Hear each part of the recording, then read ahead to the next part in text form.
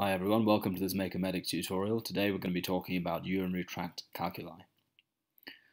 So urinary tract calculus is defined as a crystal deposit within the urinary tract and it tends to present with severe loin to groin pain when the stone gets stuck somewhere along the urinary tract. There are a few different types of stone to be aware of, the most common of which is calcium oxalate, but there are a few others as well, such as magnesium ammonium phosphate, also known as struvite, urate, and cystine. So when investigating a patient with suspected urinary tract calculi, usually the first thing that's done, just because it's a bedside test, is a urine dipstick, which is very likely to show hematuria.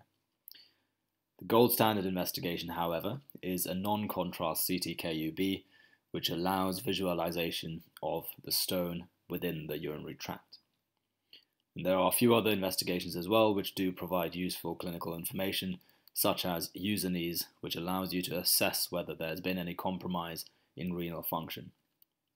The management of urinary tract calculi depends largely on the clinical state of the patient and also the size of the stone. So if the patient has features of sepsis and has an obstructed urinary tract, they need the system to be decompressed urgently, and that's usually achieved with a nephrostomy, which I'll talk about in a moment. If there is no infection, then the management depends largely on the size of the stone itself. So if the diameter is less than 5 millimeters, it's quite likely to pass spontaneously, and it's also recommended that the stone is retained for analysis, just because it can give some hints as to whether there's any underlying causes that may predispose the patient to developing stones. If the stone is larger than 5 millimeters in diameter, then an intervention is usually indicated, and that may come in a number of different forms. So let's talk about each of these terms in turn, and it can be better understood by breaking down the terms themselves. So uretero suggests that it's through the ureter, scopic suggests that there's a camera involved, litho means stone, and tripsy means crushing that stone into smaller pieces that can then pass through the urinary tract.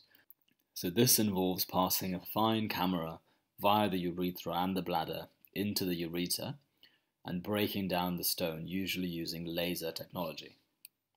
So moving on to extracorporeal shockwave lithotripsy. Extra means outside, corporeal means the body, shockwave means ultrasound, and lithotripsy means crushing the stone.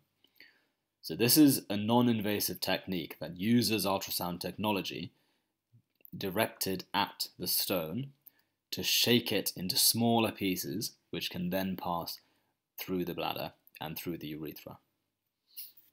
Moving on to percutaneous nephrolithotomy. Percutaneous means that it's through the skin. Nephro suggests it involves the kidney as opposed to the ureter. Lith means stone and otomy means cutting the stone out. So percutaneous nephrolithotomy is an approach in which you go via the skin into the kidney to extract a stone that is lodged within the kidney. So nephrostomy is done in an emergency circumstance when you have an infected and obstructed system. So assessment of the patient will likely reveal an AKI and sepsis. So it requires urgent decompression, and as the name suggests, it involves creating an opening into the kidney. So it involves passing a tube via the skin into the renal pelvis so that the urine that has accumulated and backlogged into the kidney can be drained.